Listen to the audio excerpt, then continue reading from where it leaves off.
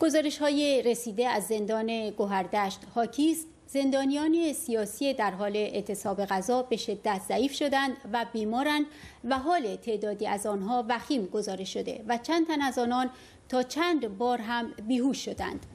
دشخیمان خامنه ای، محمد مردانی رئیس زندان و محمدی رئیس بند چهار بیش از یک هفته است که به پزشک درمانگاه زندان اجازه نمی دهند که زندانیان اعتصابی را برای گزارش علائم حیاتی و وضعیت سلامت آنها ملاقات و معاینه کنند.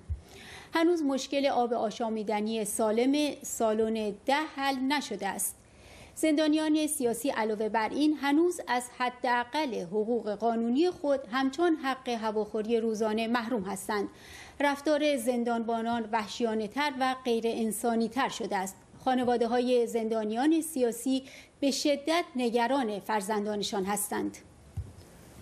زندانیان سیاسی تبعیدی در زندان مرکزی اردبیل طی نامه‌ای به زید رعد الحسین کمیسر عالی حقوق بشر ملل متحد و آسم جهانگیر گزارشگر ویژه حقوق بشر در امور ایران از زندانیان سیاسی در حال اعتصاب غذا در زندان گوهردشت و خواسته های آنها حمایت کرده و خواستار رسیدگی به وضعیت آنان شدند.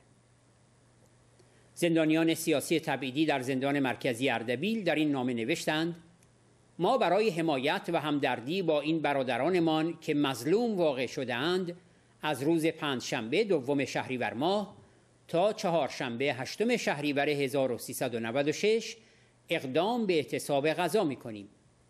خواست ما زندانیان سیاسی و خواست ملت ایران این است که به وضعیت ایشان هرچه زودتر رسیدگی شود و آنان به محل قبلی که در آن بودند بازگردانده شوند. خواست همه مردم ایران آزادی زندانیان سیاسی و توقف اعدام در ایران است.